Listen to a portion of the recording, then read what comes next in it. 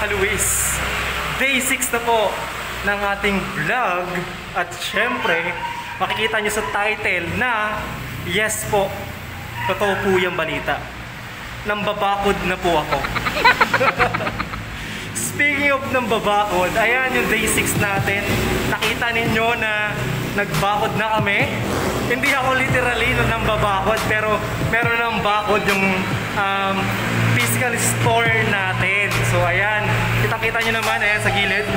Ah, nilagyan na namin ng bakod para mas maganda siya tignan. So, yes! Excited na kami. Ah, ito na yung ah, overall na natapos na namin. Ayan, nagpintura kami. Naglagay, ah, naglagay ako ng mga kailangan ilagay pampakintab ng mga upuan natin which is yung mga um, barnis. Um, ilalagay ko dito kung ano yung mga ginamit kong um, tawag dito. mga ginamit naming pampakintab. So, ayan, baka may idea kayo or kung alam nyo yan or kung may, wala lang, baka may gusto magtanong lang kung ano yung ginamit namin na klase ng barnis pampakintab ng mesa. So, lalagay ko na lang dito. Ayan, ayan yung pangalan niya. Ayan yung picture niya. So mura lang, mura lang siya. So for this vlog, um, ayun, gusto ko lang ipakita na I'm proud na meron na tayong bakod. Ayan. So hindi na tayo pwedeng pasukin, charot. Mas maganda yung design ng bakod na napili natin. And ayun nga pala sa mga uh, nag-update, nagtatanong ko kamusta ako kay kahapon. Actually okay na ako ngayon.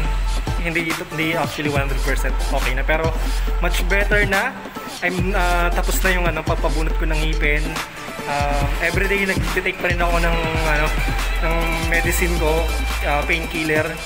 And ayun, tuloy-tuloy lang. Uh, and jumuti ako ulit ngayon, tumulong ulit ako para matapos na nga ayan. Oh, excited na kami for um, our opening, no? Opening, I hope and I pray sana next week mga 16 or 17 uh, makapag-open na tayo. So, That's it. Maraming salamat sa mga nag-pray sa akin sa healthy ko, gra sa, sa health ko. Ay medyo masakit pa rin, no? Taas kasi yung binunutan sa akin yung haba ng ngipin ng gan, gan, gan, ganito kalaki. Ganito kalaki yung ngipin ko nakita ko sa wisdom tooth. And buong araw nagpahinga lang ako kahapon. Ito yung tsura ko kahapon. Kaya na yan yung tsura ko, nag-iinarte ako kahapon. Sobrang sakit. After matapos na mawala na yung ano, mawala na yung anesthesia, sobrang sakit na. And ngayon na yun, uh, kumikirat-kirat pa rin habang nagsasalita ako ngayon. No? Pero, ayun, thank you sa prayers. Thank you sa prayers ninyo. Uh, it's give me strength talaga. Uh, maraming salamat, maraming maraming salamat. And I hope and I pray kayo rin, safe kayo kung nasan man kayo at okay kayo at ini-enjoy nyo itong vlog natin. So, once again, this is Luis. See you tomorrow.